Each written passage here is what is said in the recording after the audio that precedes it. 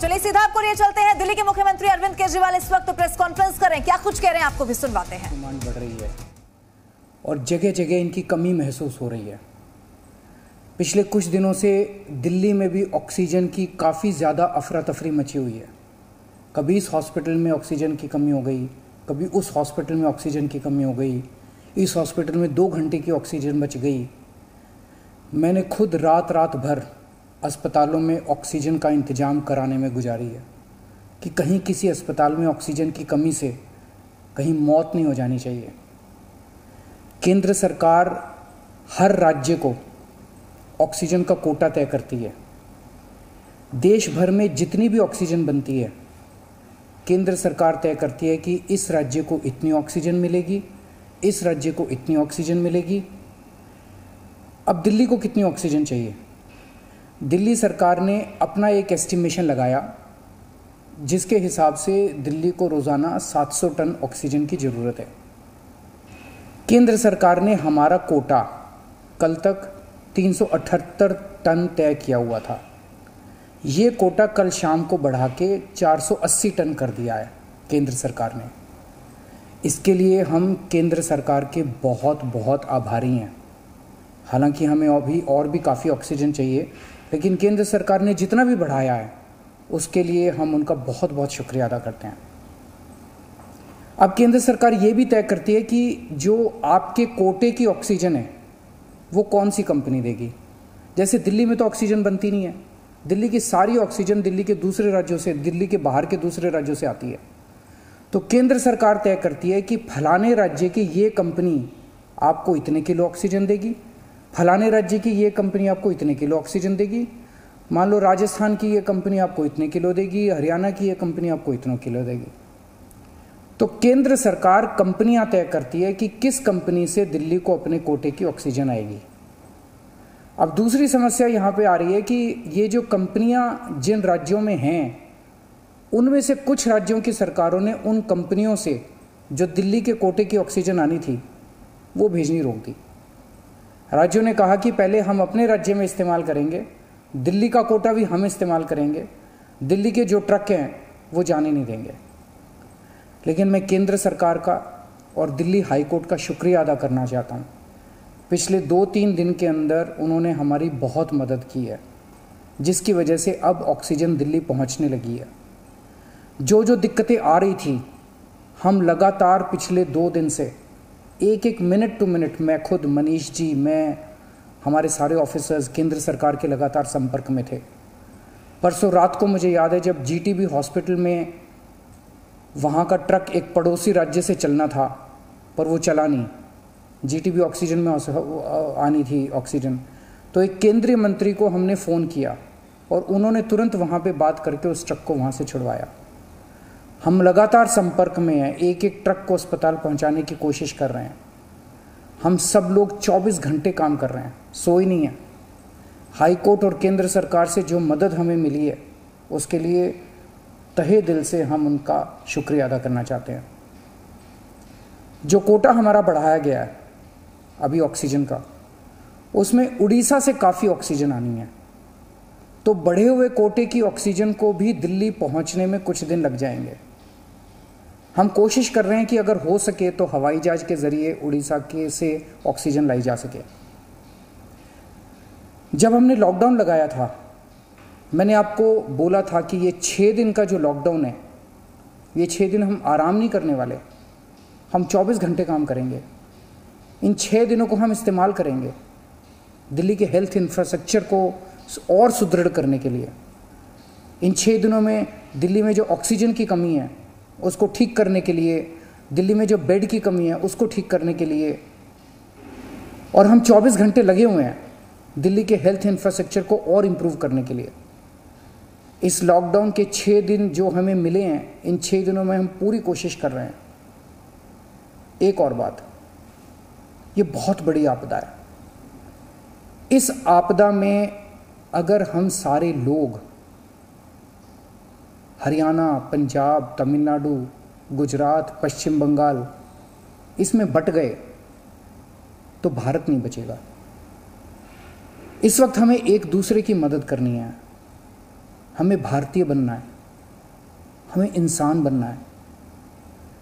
देश के लोग आज सभी न्यूज़ चैनल पे देख रहे हैं कि दिल्ली में आने वाला ट्रक किसी और राज्य ने रोक दिया।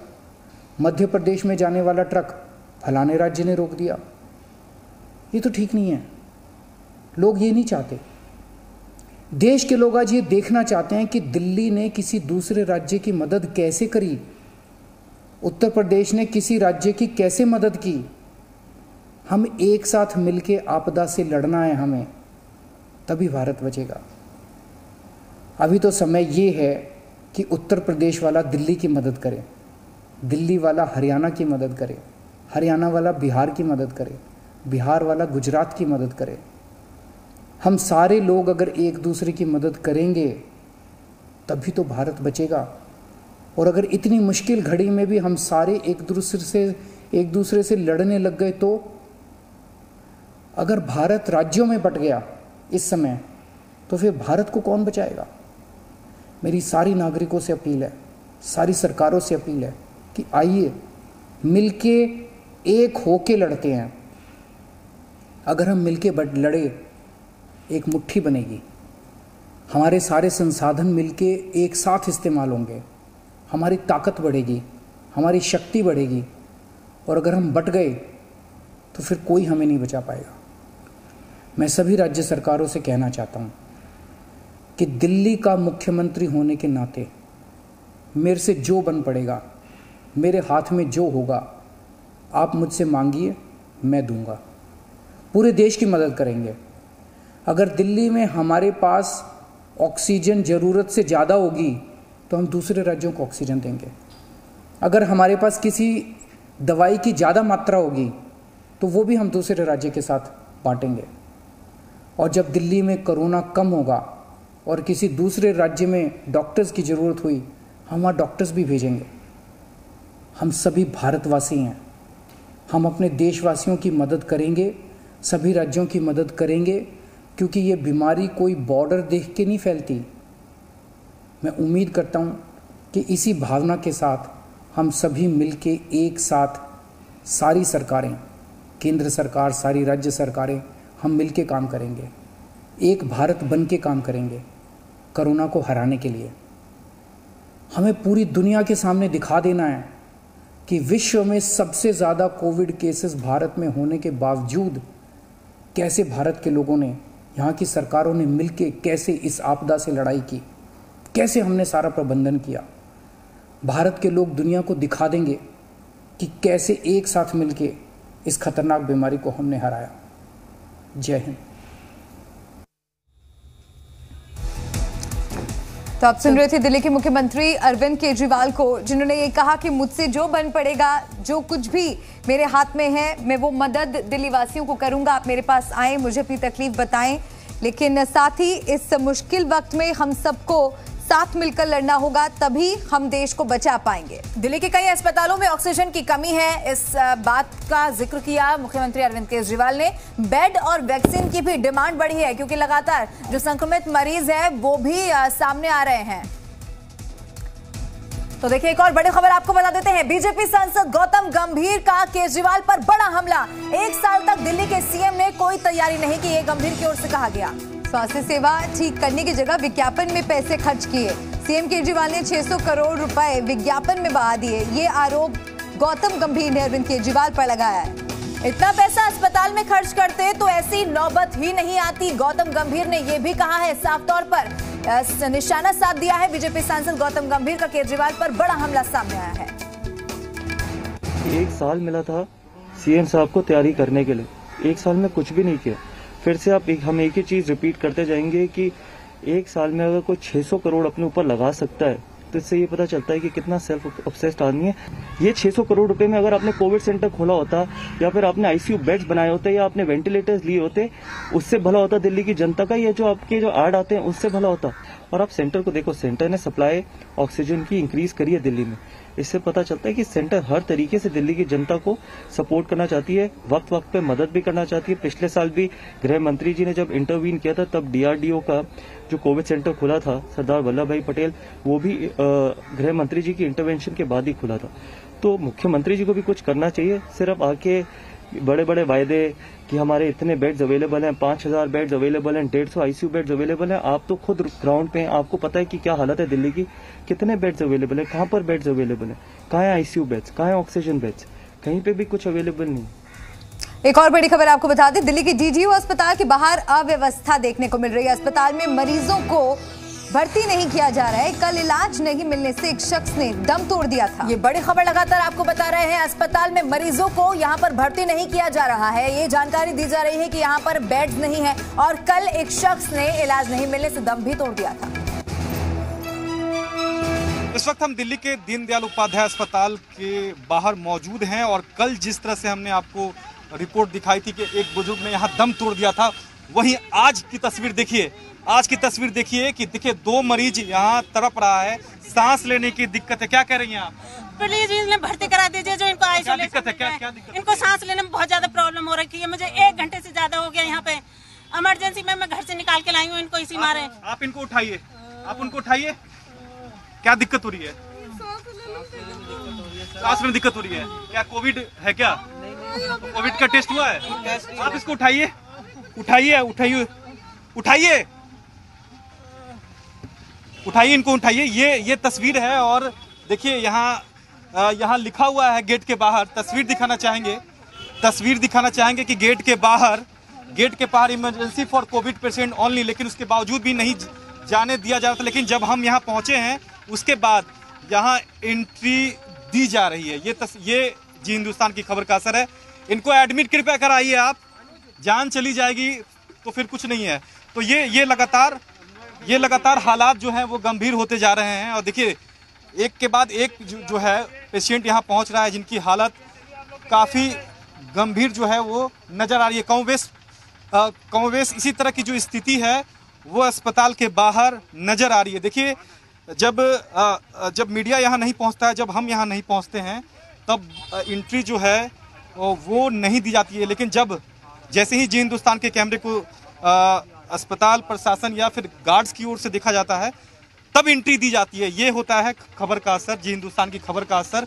और देखिए अभी एक बंदा यहाँ तड़प रहा था और जब हम यहाँ पहुँचे हैं तो उसके बाद अंदर अस्पताल के अंदर जो है उसको जाने की इजाज़त दी गई है। तो ऐसे में सबसे बड़ा सवाल है कि इस तरह की लापरवाही आखिरकार क्यों?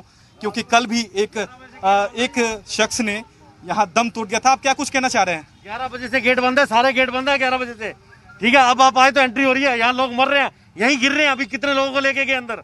ऐसा क्यों? जब हम पहुँचते हैं कल भी हमने देखा जब हम तो पहुँचते हैं तब बताएँगे ना आप पहुँचते तब अंदर क्यों नहीं जाना? आपके सामने की बात होती थी कैसे लोग मर रहे हैं यहाँ पे? लोग लोग जाने नहीं दे रहे हैं अंदर से मना कर रखा जी हमारे को। हॉस्पिटल किस लिए है? लगातार जी हिंदुस्तान जो है वो मरीजों के हक में जो है आवाज़ उठाता रहेगा और जो अस्पताल सोया हुआ है उसको जगाने का काम करेगा।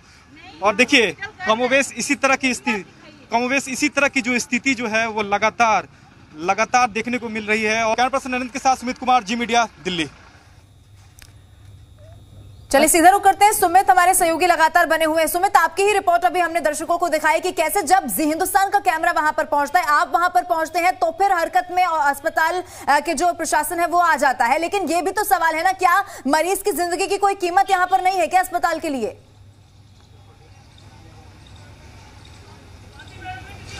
आ, बिल्कुल बिल्कुल आपने सही कहा। और देखिए जब मैं करीब एक घंटे पहले पहुँचा था तो यहाँ किसी भी मरीज़ को सूद लेने वाला यहाँ कोई नहीं था। यहाँ तक कि गेट जो है बाकायदा बंद कर दिया गया था किसी की एंट्री नहीं दी जा रही थी। देखिए यहाँ अभी हमने सीएमओ से बात की है उसके बाद कैजुअलिटी हेड से बात की है डॉक्टर राजेश कोहली से। उसके बाद डॉक्टर राजेश कोहली ने हमारी बात को सुनी। उसके बाद दो डॉक्टर को यहाँ बाहर भेजा था और जो दोनों मरीज़ यहाँ तड़प रहे थे उनको अंदर कैजुअलिटी में एडमिट कराया गया है।